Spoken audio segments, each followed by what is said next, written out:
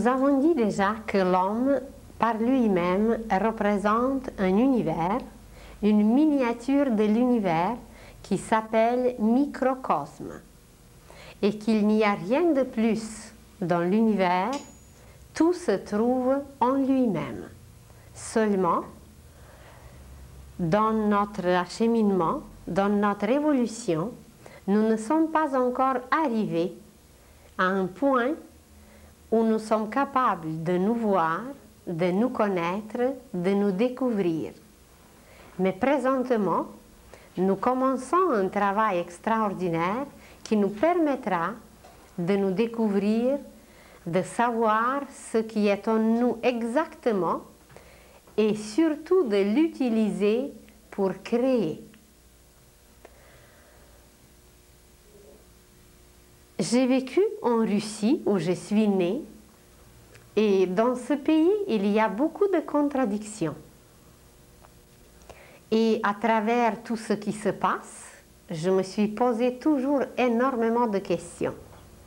Par exemple, il y a un langage populaire, il y a des traditions, il y a des fêtes que le peuple est habitué à suivre, à faire, à utiliser.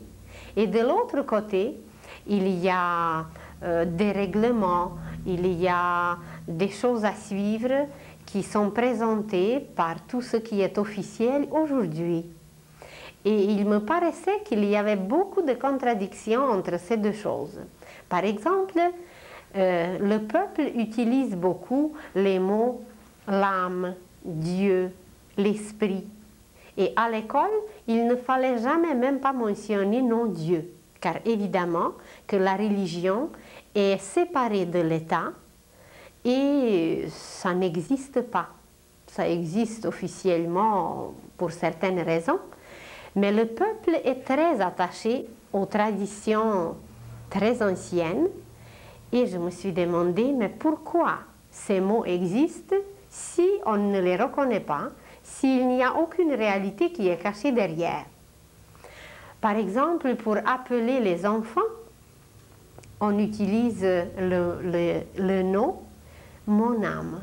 Comme les Français disent chérie, en Russie on appelle mon âme. Alors je me suis toujours demandé, mais comment elle est cette âme?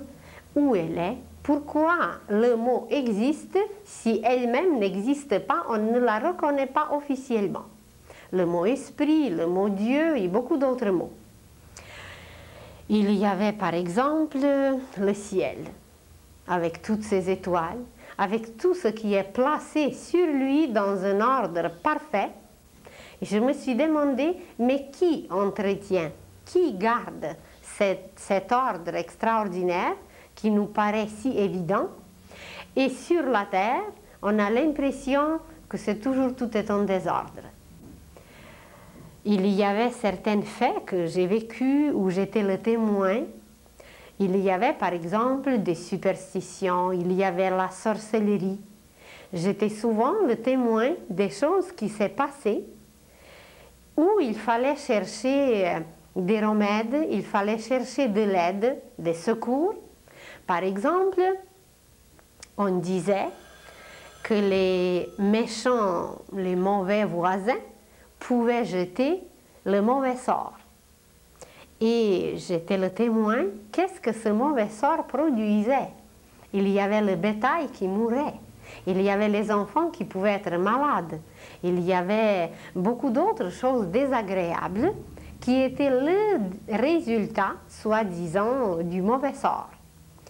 De l'autre côté, il y avait des belles choses. Une euh, femme jalouse qui a passé auprès d'un enfant, l'enfant est devenu bleu, il étouffait, il euh, n'était presque pas vivant. Et alors on allait chercher une voisine qui était bonne, qui connaissait un peu certaines choses, qui disait quelques phrases, qui utilisait des braises avec euh, l'eau euh, bénite. Et l'enfant revenait, il reprenait ses couleurs, il reprenait la vie.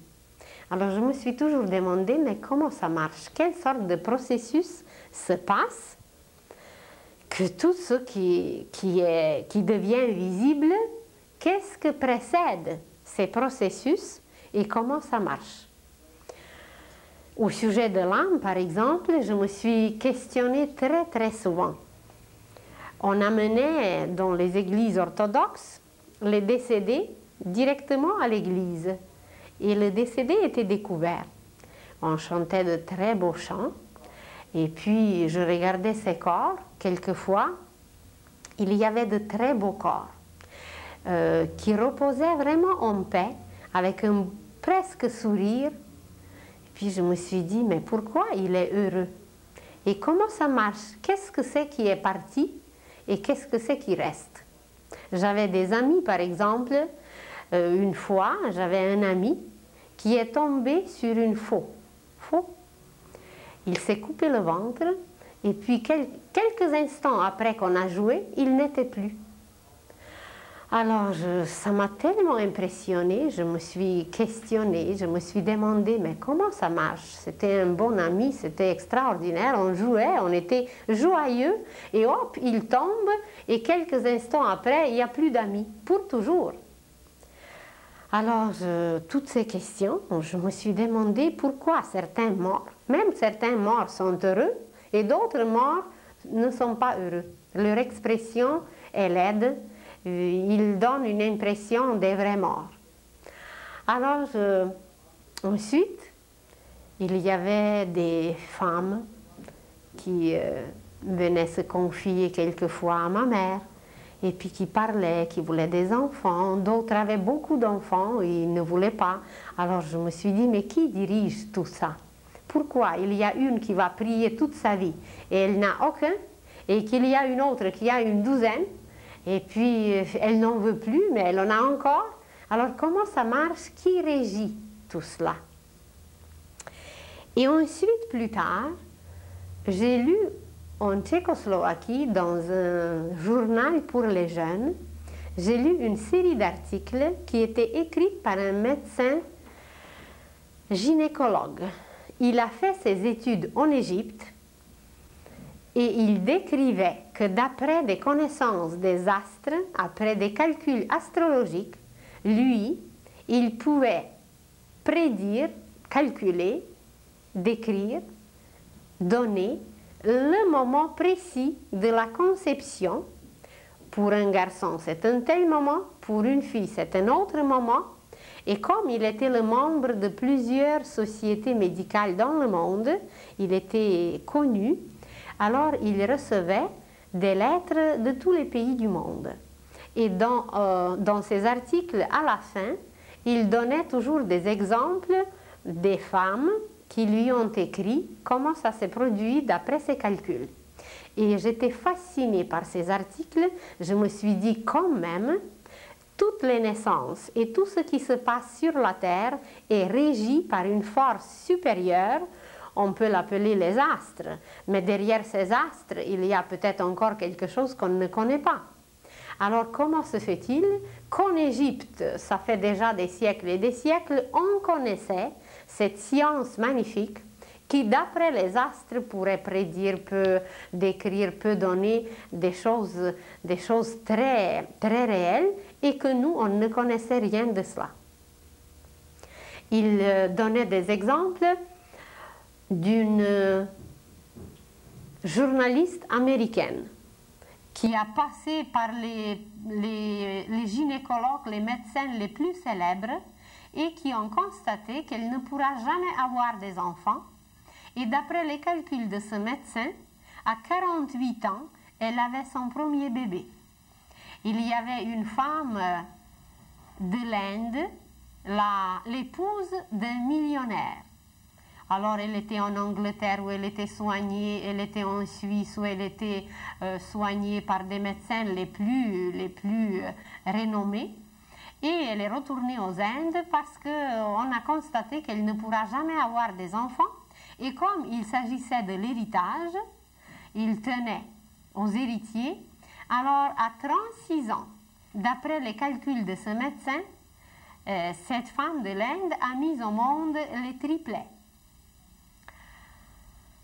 Et mes questions ont continué ici je me disais, mais comment se fait-il qu'il y a des choses dont on ne veut pas se souvenir et ça nous revient, l'image nous revient, l'image nous harcèle il y a d'autres choses qu'on a la difficulté, qu'on a besoin même à se souvenir pour les examens ou pour d'autres choses. Il n'y a pas de moyens.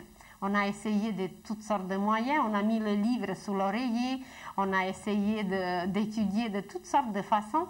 Il n'y a pas de moyen de se souvenir et les choses quelquefois très désagréables, quelquefois des choses qu'on ne veut même pas voir, ça nous revient constamment à la mémoire.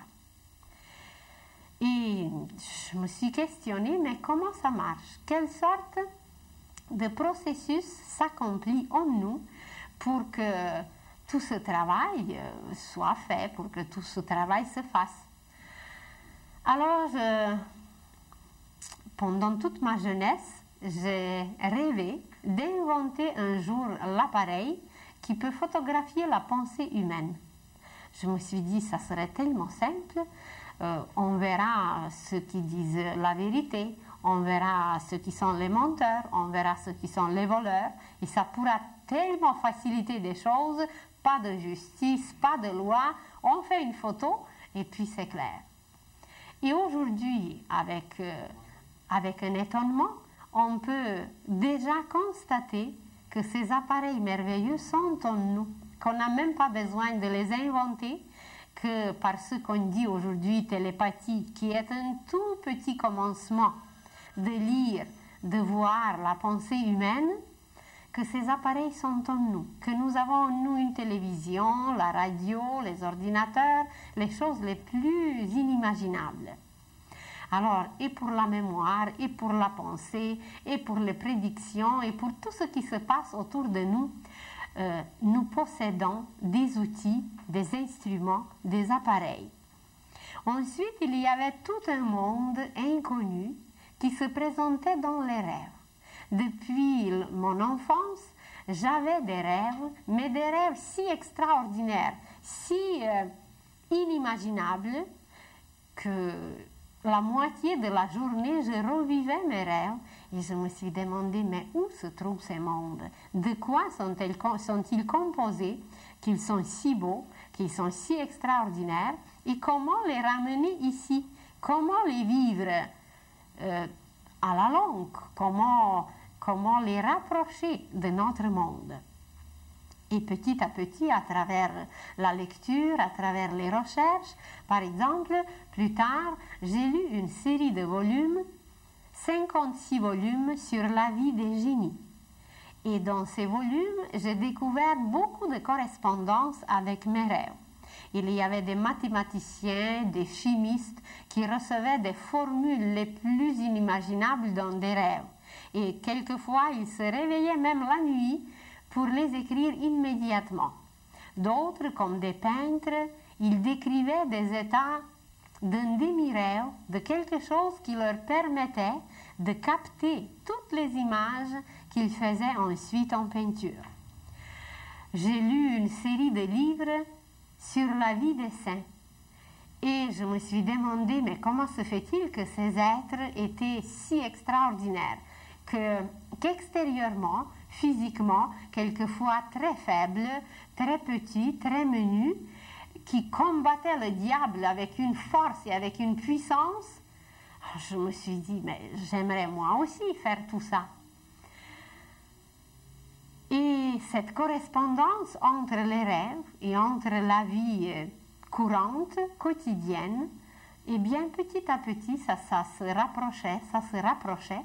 Et aujourd'hui, eh bien, on peut encore constater et dire que presque, presque nous arrivons à vivre nos rêves, car l'humanité très bientôt va atteindre un degré de clairvoyance grâce auquel nos rêves vont disparaître, les rêves vont devenir l'état de veille et l'état de veille va devenir un rêve vécu. Et ces processus se passent en nous pour accomplir des choses qu'on ne soupçonne même pas. Et à travers ces processus, nous serons capables de, découvrir l'univers, de nous découvrir nous-mêmes et d'entrer dans un degré de vie, d'intensité qui nous a pas été connu jusqu'à présent. Alors aujourd'hui, nous allons toucher par quelques mots, car c'est toujours seulement quelques mots, même si ça nous paraît que ce sont des connaissances extraordinaires, ce sont de toutes petites miettes, car nous allons découvrir que chaque mot, et non seulement chaque mot, mais chaque lettre, c'est toute une science. Alors imaginez maintenant de dire des centaines et des milliers de mots, et qu'à travers ces mots, on a l'impression quand même d'apprendre quelque chose. Mais quand nous allons nous arrêter vraiment sur euh, la vraie connaissance, nous allons découvrir que chaque son, chaque lettre, chaque mot, c'est toute une science et c'est tout un univers. Et pour connaître cet univers, il y a une installation en nous qui nous permet de le mémoriser. Car si nous ne mémorisons pas cet univers, eh bien, on ne pourra pas accumuler certaines notions, certaines connaissances, et nous aurons beaucoup, beaucoup de difficultés de connaître vraiment, car sans mémoriser quelque chose, eh bien, imaginez que vous rencontrez quelqu'un et que vous l'oubliez par la suite pour toujours. On ne le mémorise pas. Eh bien, on ne pourra pas avoir des amis, on ne pourra pas avoir des parents, on, ne saura pas qui est qui, quoi est quoi. Alors, pour éveiller notre conscience, pour devenir conscient, pour se rendre compte de tout ce qui existe, nous possédons en nous une installation magnifique qui nous permet de mémoriser tout. Nous avons déjà mentionné la semaine passée que Jésus nous envoyait dans notre chambre secrète pour prier Dieu. Il disait, si vous voulez vraiment, sincèrement prier, alors entrez dans votre chambre et priez-le. Et cette petite chambre secrète se trouve dans notre cœur, dans le ventricule gauche, sur le point. La pointe sur la pointe. Et cette petite installation, c'est un ruban qui est comparable au ruban qu'on utilise aujourd'hui pour les enregistrements. Seulement ce ruban n'a pas de fin. Et il est fait d'une matière, il est fait d'une matière éthérique qui peut se rallonger et se rétrécir. Et sur ce ruban qui se trouve dans notre cœur, sur ce ruban, tout, tout, s'enregistre. Imaginez que vous êtes, vous êtes euh, en train de marcher ou de parler avec votre ami, avec quelqu'un dans la rue, et il y a un autre ami qui passe à côté et qui vous salue, mais vous ne l'avez pas vu. Mais ça ne fait rien. Son salut, sa pensée, son sentiment, tout s'est enregistré sur ce ruban, sur cette petite bobine qui fonctionne sans cesse, sans cesse dans notre cœur. Cet atome germe, cet atome permanent, il est vraiment comme une petite bobine qui tourne, qui tourne, qui tourne et qui enregistre absolument tout. Imaginez que quelqu'un a passé plusieurs années dans l'hôpital, dans le coma, plusieurs, euh, beaucoup de temps. Et malgré qu'il était dans l'état de coma, tout ce qui s'est passé autour, tous ceux qui lui ont exprimé l'amour, tous ceux qui lui ont exprimé quoi que ce soit, alors ça s'est enregistré sur euh, ce ruban. Et un jour, quand il va revenir à lui-même, ça va apparaître en lui, les images lui seront familières et ça va être comme dans un rêve, il va se souvenir, il va se dire, mais d'où est-ce que je connais ça? D'où est-ce que euh, je me souviens de cela? Eh bien, c'est de ce petit ruban qui enregistre absolument tout. Imaginez que quelqu'un même peut tomber dans un sommeil léthargique pour une vingtaine d'années.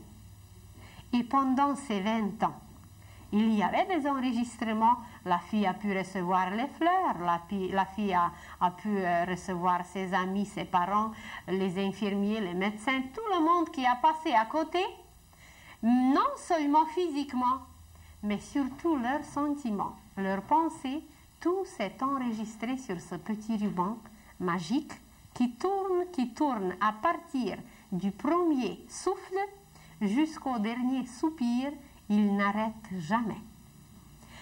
Et quand les images de ce ruban qui se sont enregistrées comme dans un film, vous allez au cinéma, tout a été enregistré déjà auparavant, tout a été déjà préparé auparavant, et il y a en arrière une chambre secrète où le public n'entre pas.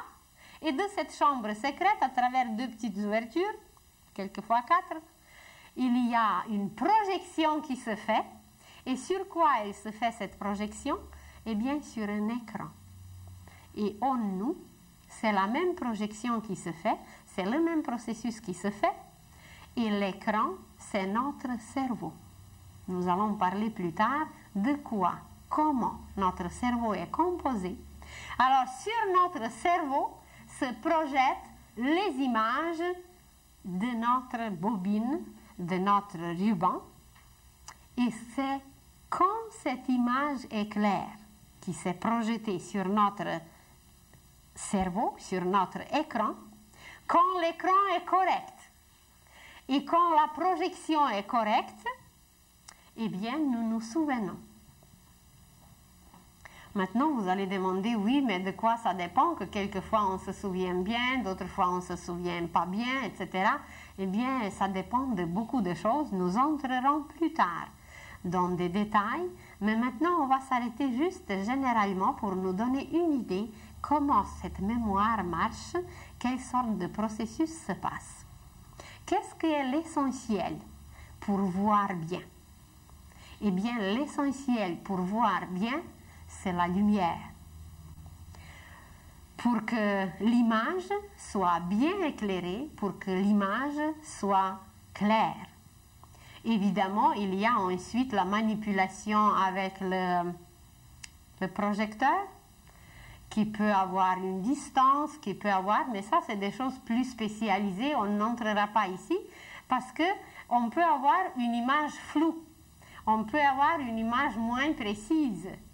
Mais ce qui est l'essentiel pour aujourd'hui, pour nous, c'est la lumière. Et cette lumière, c'est nous-mêmes qui la projetons. Et cette lumière, nous l'acquérons à travers chacune de nos expériences, de nos gestes. Et pour que l'image soit claire et non floue, il faut que la lumière passe par nos propres cellules. Mais à travers des siècles, à travers des millénaires, à travers nos souffrances, à travers nos misères, à travers tout ce qu'on a passé, transgressé, accompli pas toujours correctement, nos cellules se sont embrouillées. Il y a des... Il y a la lie, c'est ça? Il y a la lie il y a des couches opaques sur nos cellules et la lumière ne passe pas. Prochainement, nous parlerons plus en détail comment ça fonctionne en nous et par où la lumière passe. Alors, pour que la mémoire soit correcte, pour qu'on puisse projeter sur notre écran, pour qu'on puisse voir clairement pour qu'on puisse donc éveiller notre conscience, nous avons besoin de lumière. Et pour que cette lumière qui est autour de nous, qui est constamment là, cette lumière, c'est le soleil, qui est là, qui s'offre, qui se donne, pareillement à un génie comme à un ivrogne, comme à un, être le moins évolué, à une pierre comme à une étoile. Il se donne à tout le monde pareillement ça dépend de nous comment nous la captons et comment nous la faisons passer, cette lumière, à travers nous. Alors, si nos cellules sont trop obstruées,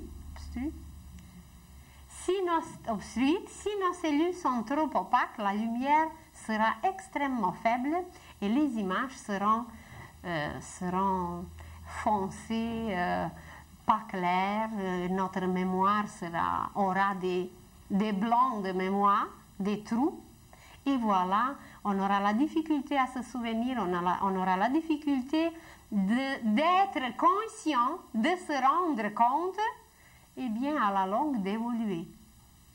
Maintenant, de quoi dépend ce passage de la lumière pour que le passage soit correct, clair, rapide, comme il faut Ça dépend de nos efforts. Par chacun de nos efforts, par chacun de nos gestes, nous faisons, nous polissons, polissons, nous nettoyons, nous lavons nos propres cellules et ensuite toutes les circulations et de lumière et de sang et de tout et de tout sont correctes. Alors, la circulation correcte de la lumière en nous dépend de nos gestes, de nos efforts. Et quand ces gestes sont accomplis comme il faut, alors dans notre organisme, ces processus se passent correctement et la conscience s'éveille graduellement, petit à petit, petit à petit, comme si on a placé une sémence dans le sol. Quand elle est placée, quand elle est dans le sol, elle ne voit même pas directement la lumière. Elle doit elle-même se frayer le chemin jusqu'à ce qu'elle atteigne la lumière. Elle passe à travers des mottes, elle passe à travers la terre, elle passe à travers l'obscurité. Eh bien, nous, c'est pareil. Mais nous n'avons aucune idée quel effort cette petite sémence doit accomplir pour se frayer son chemin. Et nous, c'est pareil. Pendant qu'on est encore dans ce sommeil de la conscience, pendant qu'on n'a pas encore une lumière claire et directe, qu'on n'a pas atteint encore le sommet de ce passage à travers l'obscurité, eh bien, c'est nos efforts qui nous aident et chaque effort, chaque effort de la petite sémence pour atteindre la surface du sol, c'est grâce à cet effort qu'elle tire d'en bas toute la nourriture nécessaire et qu'elle se tire elle-même et s'étire vers le haut pour capter la lumière. Et le même effort se fait en nous et c'est grâce à nos efforts que la projection sur ce, cet écran peut devenir correcte et de cette façon, non seulement nous allons nous souvenir euh, de ce qui s'est passé euh, il y a 20 ans, de ce qui s'est passé à chaque instant de notre vie,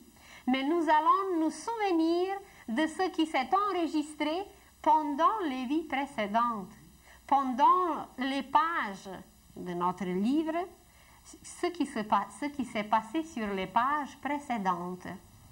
Il y a aujourd'hui déjà beaucoup de preuves tangibles, concrètes.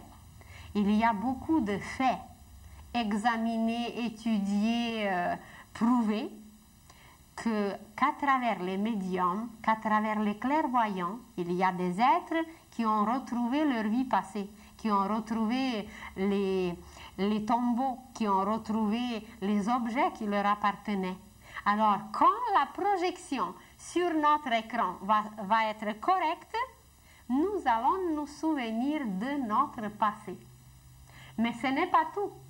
Imaginez maintenant que le présent, tout ce de quoi nous sommes capables d'être conscients tout de suite, tout ce qui se projette correctement sur notre écran immédiatement, ça s'appelle la conscience présente, la conscience éveillée, la conscience. C'est la conscience d'aujourd'hui éveillée, présente.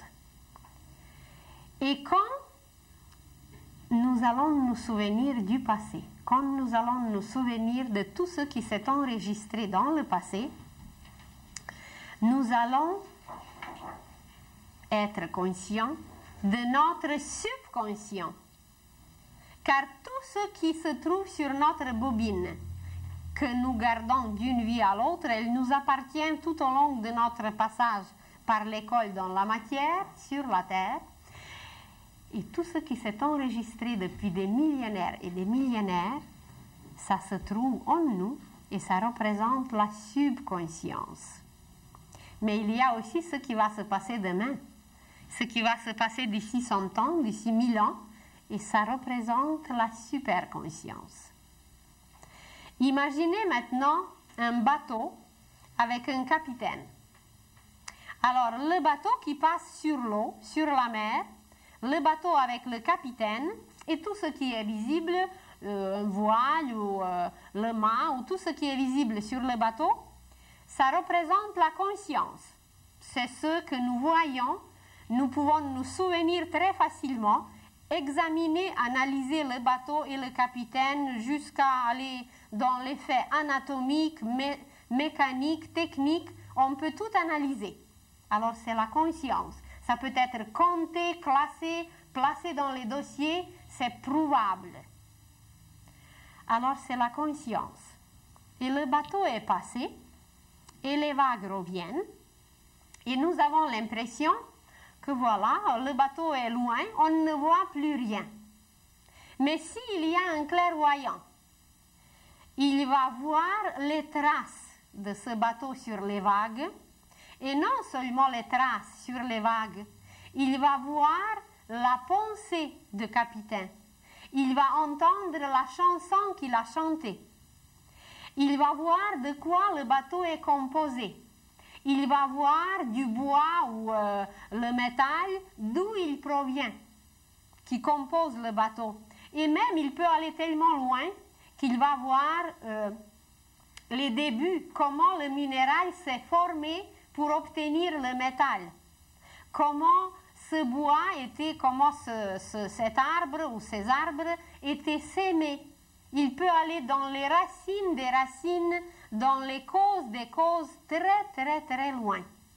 Alors comment se fait-il maintenant que voilà, la conscience n'est plus là, la projection ne se fait pas parce que le bateau, on ne le voit plus, mais il y a des images et des images à l'infini qui sont enregistrées là seulement grâce au passage de ce bateau. Le bateau a passé juste une fois et cet enregistrement qui est resté, il nous découvre l'histoire et du capitaine et du bateau et des, matériaux, utilisés et l'état présent, l'état dans lequel le capitaine se trouvait, mais non seulement ça, si c'est un bon clairvoyant, si c'est un initié, il va voir des vies passées de ce capitaine. Il, va, il peut aller jusqu'à voir son âme, jusqu'à voir l'âme de cet arbre ou l'âme de ce minéral qui a donné le métal, les métaux utilisés. Ça peut aller très très loin. Et voilà, ce qui est lointain ce qui s'est enregistré grâce à ce passage, ou qui nous permet plutôt de détecter le reste, ça représente la subconscience.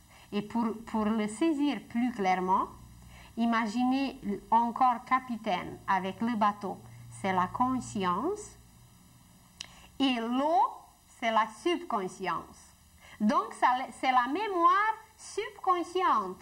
C'est ces vagues qui étaient touchées par le bateau qui nous permettent d'évoquer, de, puiser toutes ces images du passé qui sont là, qui sont toujours présentes comme cette eau qui est là. Euh, Ce n'est pas nécessaire prendre l'image de l'eau. On peut prendre l'image même de la terre. Vous savez très bien que dans, les choses qui sont liées à la recherche détective, on utilise le chien, qui a un flair très développé. Et comment se fait-il que le voleur, où il a passé, il n'est plus? Pour nous les humains, c'est impossible de le trouver. Le voleur n'est plus là, mais on amène le chien, il n'y a rien de visible. Alors comment se fait-il que ce chien, d'après euh, ses appareils du flair, peut détecter où le voleur s'est caché, par où il a passé, où il est allé? Donc il y a des traces, il y a des sillons qui ont resté, et ces sillons sont remplis d'images, quelquefois tellement subtiles que nos cinq sens ne sont pas capables de les trouver. Vous allez dire, mais est-ce que le chien est plus intelligent que nous? Pas nécessairement. C'est qu'il il y a en lui un instinct qui est très aigu, qui est très développé et chez nous, cet instinct était remplacé par des choses beaucoup plus valeureuses, beaucoup plus grandes, mais qu'aujourd'hui, ces choses valeureuses, ces acquisitions sont un peu dispersées. Ce n'est pas encore concentré, nos appareils ne sont pas utilisés. Et en plus, le chien est guidé par son âme groupe, alors euh, comme des abeilles ou comme des hirondelles qui reviennent dans les mêmes endroits sans se perdre. Tandis que nous, on va deux coins de rue plus loin et on est capable de se perdre. C'est qu'ils sont guidés par leur âme. Alors, la subconscience, c'est un monde d'une richesse insoupçonnable. Imaginez maintenant que non seulement dans cette eau, dans cet océan, par où le bateau est passé, par où la conscience passe, c'est que non seulement le passé du capitaine se trouve, c'est enregistré, non seulement la composition du bateau, l'histoire de l'arbre, des métaux, etc., mais il y a la vie même de l'océan, il y a la vie même de la mer, il y a la composition d'eau. Et nous ne savons pas encore détecter les sons, la musique, la mélodie de, tout cela. C'est non seulement les images sans vie, il y a les couleurs autour de euh, ces images sont composées des couleurs, mais à travers tout ça, il y a un son, il y a une mélodie, il y a une musique que le, le clairvoyant, quand il va voir l'arbre qui a, qui a été utilisé pour le bateau, il va entendre la musique de cet arbre. Il va voir la structure de ses cellules. Il va entendre la musique de chaque goutte de cette mer. Car la mer, on entend les bruits de la mer. Et tout le monde aime les bruits de la mer. Mais nous disons les bruits parce qu'en nous-mêmes, il existe encore des bruits. En réalité, c'est une musique, c'est une mélodie. C'est une mélodie composée d'une symphonie parce que chaque goutte, non seulement chaque goutte, mais chaque petite particule, la plus petite particule de tout chante. Euh, émet son son. Son son, ça s'écrit deux fois pareil. Alors, euh, à travers ce son, il y a encore des choses et des choses à découvrir et à détecter à l'infini. Mais cette subconscience, ce n'est pas tout. C'est que le clairvoyant va voir en même temps où le bateau est allé. Il va voir le port où il va... Qu'est-ce que fait le bateau? Accoster. Alors, où le bateau va accoster? Il va voir euh, que ce capitaine va se marier dans deux ans. Il va voir euh, les noces. Il va voir la jeune mariée. Il va entendre encore la musique, les chansons. Il va voir non seulement son avenir présent, présent ça veut dire dans cette vie, mais il peut voir tout son avenir d'ici des millénaires. Et cet avenir, qui englobe en même temps le passé, parce qu'en réalité ça fait un tout, c'est la super conscience. Alors, tout ce qui était physique, tangible, bateau, capitaine, voile, mât, c'était la conscience. Tout ce qui coule, c'était l'eau, c'est la subconscience. Et imaginez maintenant que cette subconscience et cette conscience, le corps humain, le corps du capitaine, le voile, le bateau, l'eau, sont pénétrés par l'air. Et cet air, avec ces petites particules, représente la superconscience. La mémoire superconsciente, la mémoire du demain, la mémoire de l'avenir, la mémoire future. Et voyez comment tout est interpénétré. Et en quoi réside la différence? La différence entre ces mémoires réside en subtilité et en intensité. L'intensité de la lumière qui nous permet de voir les images physiques, avoir la conscience, la mémoire de la conscience présente, cette lumière et, et cette matière, elle est extrêmement dense. La lumière va très au ralenti, son intensité, son intensité, elle est très lente, très petite. Tandis que le subconscient, c'est une intensité plus grande Et il faut une lumière beaucoup plus accélérée, beaucoup plus grande, pour éclairer ces images. Et pour éclairer les images de la superconscience, de la mémoire superconsciente, il faut une lumière encore plus grande. Imaginez que qu'on est dans la nuit. Alors dans la nuit, vous utilisez pour éclairer quelque chose que vous tenez, un objet dans vos mains, vous utilisez une bougie. C'est quand même une lumière. La bougie éclaire l'objet qui est près de vous. Mais si vous allez dix pas plus loin de cette bougie, vous la laissez sur place, eh bien, on ne verra plus, rien parce que son éclat n'est pas suffisant pour éclairer ce qui est plus loin. Alors, imaginez que cette bougie, c'est la conscience. Notre conscience présente, notre mémoire consciente, c'est l'éclat, c'est la lumière d'une bougie. On, a vécu des siècles et des siècles avec une seule bougie, avec euh, ce seul symbole. On a traversé des siècles, on a appris énormément, on a lu, on, a, on était émerveillés, mais c'était quand même seulement la lumière d'une bougie. Alors la mémoire consciente qui nous permet de projeter les images sur l'écran du cerveau, eh bien, on se, on se sert d'une bougie. Vous savez comment elle est fragile. Dès qu'il y a un coup de vent, il n'y a plus de bougie. Alors nous, c'est pareil. Notre lumière intérieure, elle est tellement peu stable, elle est tellement fragile, elle est tellement, euh, elle est tellement faible que n'importe quel vent, n'importe quel événement qui est un peu plus, euh, un peu plus euh, dur, cet événement qui produit un vent, et voilà, la lumière s'éteint, on ne voit plus rien, on ne sait plus quoi faire, on est dans des problèmes de par-dessus de la tête parce qu'on n'a pas de lumière pour éclairer, pour voir où est la cause, pourquoi c'est ainsi. Alors nous nous servons symboliquement, dans la mémoire présente, nous nous servons d'une bougie. Mais imaginez maintenant que l'humanité a découvert l'électricité. Et en plus, cette électricité a existé depuis des siècles et des siècles dans les rivières.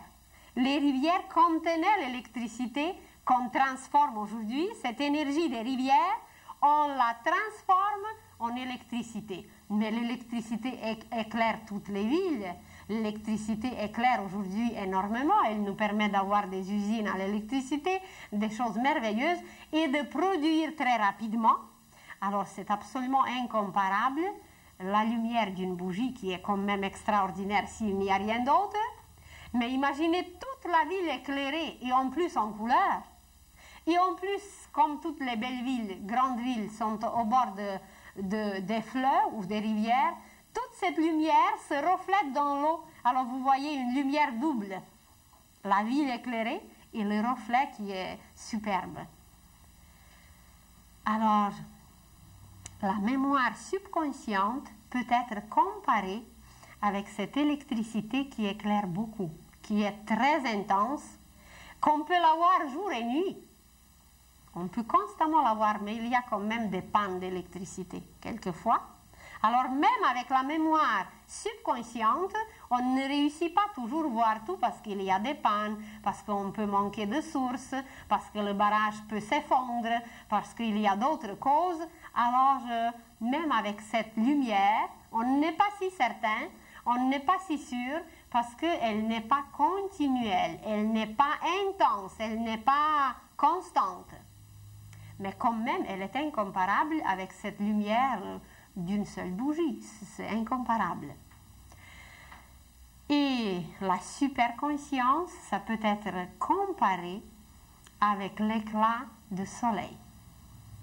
Vous allez dire oui, mais même le soleil, il se cache pour la nuit. On a l'impression qu'il se cache. Il ne se cache pas. Et la science va découvrir très bientôt que même le soleil, quand il est de l'autre côté de la Terre, il pénètre la terre et ses rayons viennent sur notre lit. Et ces rayons font des transformations magnifiques en nous.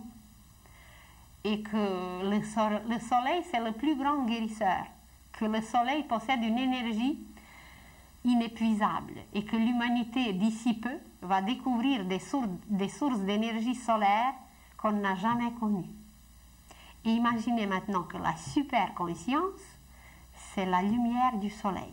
C'est ce qui donne la vie, c'est ce qui donne la chaleur, c'est ce qui donne une lumière perpétuelle, continuelle, qui ne meurt jamais. Personne ne doute que demain matin, le soleil ne se lèvera plus. Oh, tout, tout peut arriver. Mais personne n'a jamais douté de cela.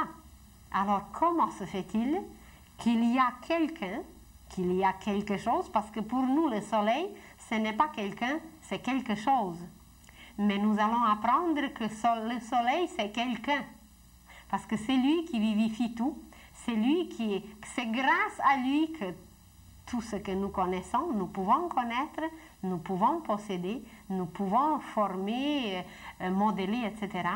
Alors, la mémoire super consciente, elle est comparable au soleil, qui sait tout, qui voit tout, qui pénètre la terre, qui va jusqu'au centre de la terre, qui traverse par ses rayons, invisibles évidemment, inconnus pour l'instant, qui traverse la terre, qui va jusqu'à notre lit, même si on est en sommeil, et qui accomplit des plus grands miracles, alors c'est cette lumière.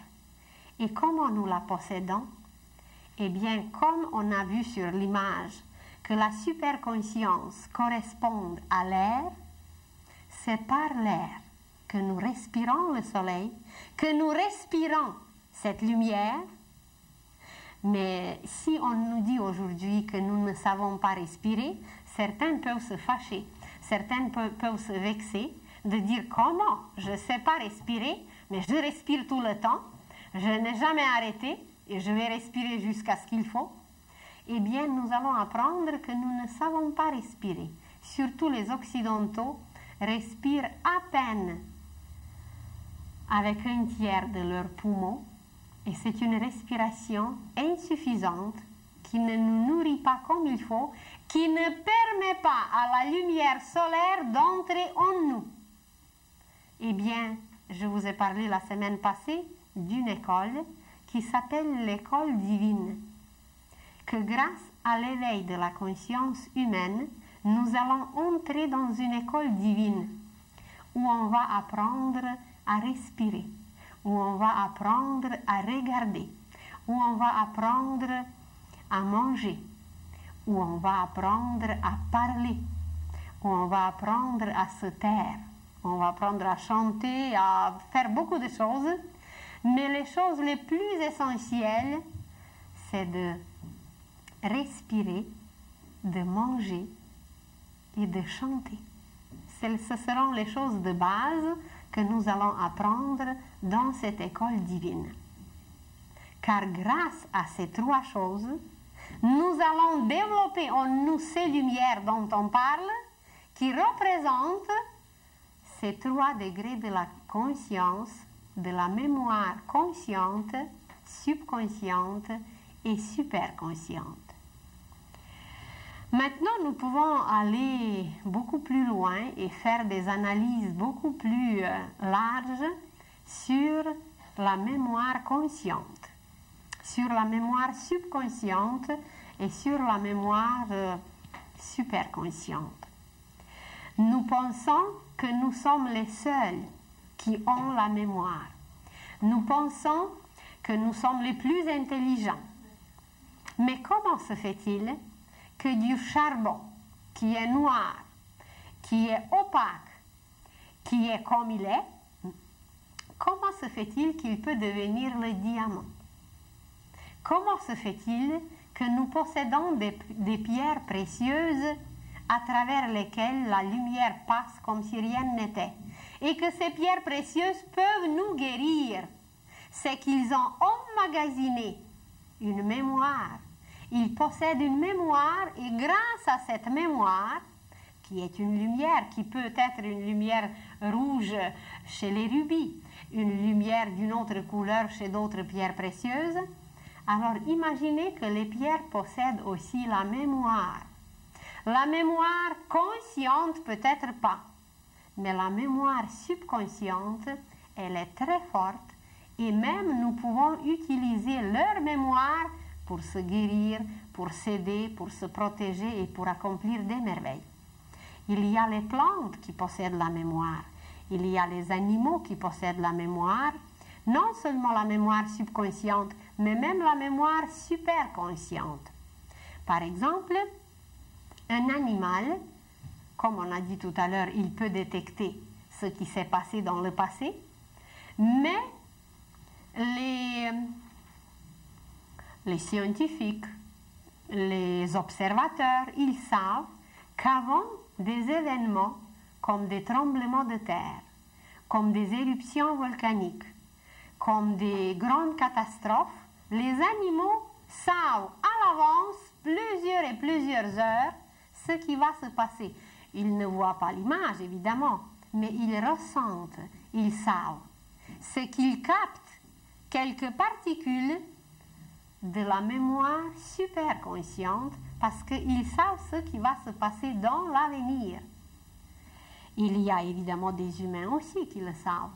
C'est qu'ils peuvent entrer, qu'ils peuvent lire, que leur lumière est suffisante pour éclairer les images futures et c'est de cette façon qu'ils peuvent capter, voir les images de l'avenir.